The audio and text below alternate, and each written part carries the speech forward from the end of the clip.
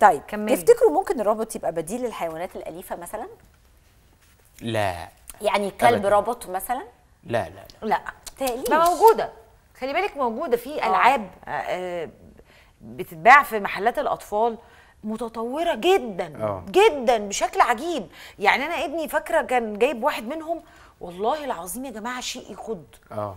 يقول لي إيه آه ويدي له orders يعني يقول له آه آه سات اقعد آه اقف. ياه. آه, آه. وبعدين لو ودانه خضراء يبقى هو مش عارفة إيه لو ودانه حمراء يبقى عايز حد يطبطب عليه فتقوم تطبطب عليه فيعمل الحركات إن هو إيه يعني حس بالحنية.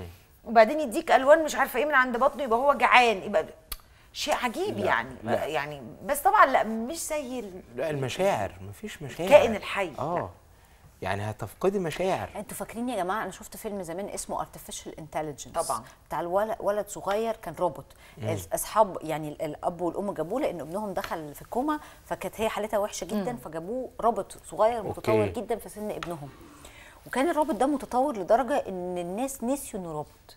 فإحنا هنوصل في التطور لدرجة إنه الروبوت هتنسى إنه روبوت لإنه هيبقى شكله وطريقته وذكائه الرهيب وردود أفعاله طبعاً. السريعة وقد كده هو تلقائي ممكن تنسى في لحظة انه شيء روبوت يخوف على فكرة جدا شيء يخوف جدا كل شوية ال ال ال ال هنتعود، الحاجات دي. بتزيح الإنسانية وبتزيح هنتعود. آه، جانبا يبقوا ماشيين معانا في الشارع كده ال social يعني؟ ميديا و...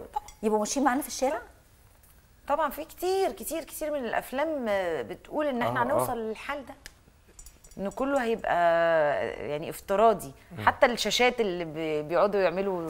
كده في الهواء دي كلها أعتقد إحنا نخليهم. في قرية. لوحدهم وإحنا في قرية لوحدنا قرية إحنا عايزين آه نتخانق مع بعض نتكلم مع بعض نضحك مع بعض حتى ده كمان اتعمل فكرة إن آدمين أبرمجه إن هو تعالى نتخانق؟ يبقوا لوحدهم في مكان أو في مستعمرة آه. واللي مخلطين على رابط موجودين في مكان في مستعمرة حتى ده كمان اتعمل في ال- في الأفلام لا أنتوا عارفين إيه اللي مرعب أكتر إنه إحنا هيبقى في أجزاء من جسمنا robots بعد كده؟ لأن بيقول لك ان ما أنت دلوقتي بقى في أجزاء من جسمك زي صناعية. الأطراف الصناعية آه. آه، ما الأطراف. الصناعيه أيوه بس الأطراف الصناعية يعني دي انت بتتحكمي فيها في الآخر. بتتحكمي فيها آه بس هي واصلة بمجموعة من الأسلاك بتتوصل بأعصابك بتتحرك بأوردر من مخك. يعني في أنواع متطورة جدا دلوقتي بتتحرك تت... كأنك انت مش حاطة جزء زيادة في جسمك. وفي بس ما تتصنفش. في- أي حاجة ممكن تتخيليها شيء أيوه طبعا. طيب.